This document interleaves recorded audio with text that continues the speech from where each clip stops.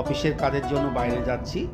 কিছুক্ষণ পরে আমরা বঙ্গবন্ধু ব্রিজ পার হব। যমুনা ব্রিজ নামেও পরিচিত। সে ব্রিজ পার হব। আপনারা দেখবেন ব্রিজটা অনেক সুন্দর হয়েছে। আমরা যারা উত্তরবঙ্গে বসবাস করি, তাদের জন্য এই ব্রিজটা আশীর্বাদ স্বরূপ। ব্রিজে এখন রেলও সংযোগ করা হয়েছে। রেল লাইন বলে ট্রেনও যাচ্ছে। আমরা এখন দাঁড়িয়ে আছি টোল প্লাজা বক্সের কাছে, যেখানে টোল দিতে হয়। একটু পরে একটি টোল দেওয়া শেষ হলে আমরা আবার রওনা দিব। কার উইন্ডো থেকে যতটুকু ছবি নেওয়া গেছে, আমি নিতে চেষ্টা করেছি। দেখবেন। আমাদের টোল দেওয়ার পালা।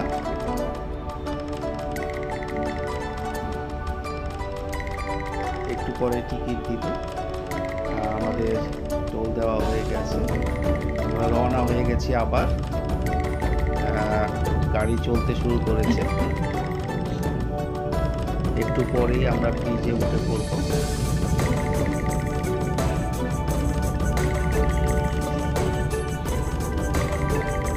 পাশে ট্রেন যাচ্ছে।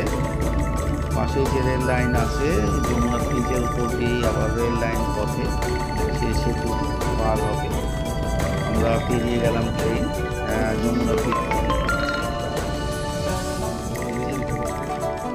ব্রিজ পার হতে আমাদের কত বিশ মিনিট বা আধা সময় লাগবে বেশি লাগবে না। এখানে আমরা একটু ধীর গতিতে গাড়ি চালাচ্ছি যেহেতু ওভারটেক করাটা আসলেই মারাত্মক ব্যাপার। এতে ব্রিজেরও ক্ষতি হতে পারে। সামনে যেমন একটা দেখরা দেখতে পাচ্ছি আমরা একটা গাড়ি টায়ার বাস্ট হয়ে এক্সেল ভেঙে পড়েছিল। আমরা কিছুক্ষণের মধ্যে দেখতে পাবো সামনে গাড়িটা।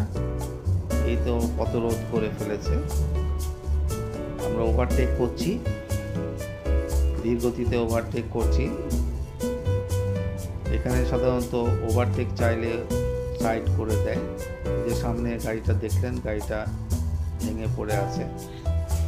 তবে এটা উচিত না, গাড়ি সাবধানে চালানো যেন ব্রিজের উপর কোনো ক্ষতি না হয়। কারণ এটা আমাদের একটা রাষ্ট্রীয় সম্পদ, যাতে সবাই যত্ন, সবারই যত্ন নেওয়া উচিত। যত্ন নিলে আমাদের এই স্থাপনাগুলো সঠিকভাবে থাকবে, আমরা উপকৃত হব।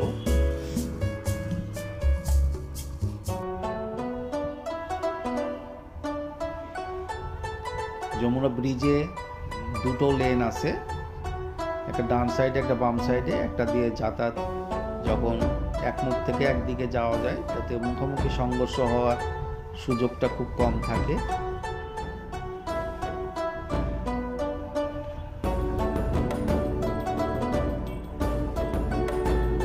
এখন যমুনাতে পানি অনেক আসলে কম।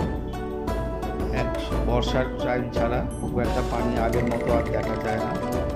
একটু শুকিয়ে গেছে। মাঝে মাঝে জলও জেগে উঠেছে। তবে বর্ষার সময় আবার এদিকে দেখা যায় যে কুমুত্ত যমুনা হয়ে গেছে। এই যে দেখছেন এক্সেল ভেঙে গেছে।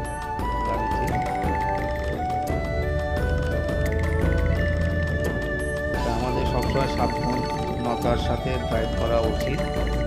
যেন নিজের ক্ষতি না হয় ব্রিজের ক্ষতি না হয়। জীবন আগে।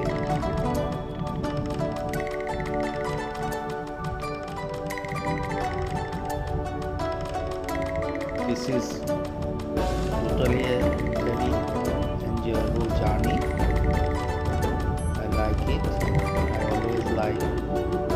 back.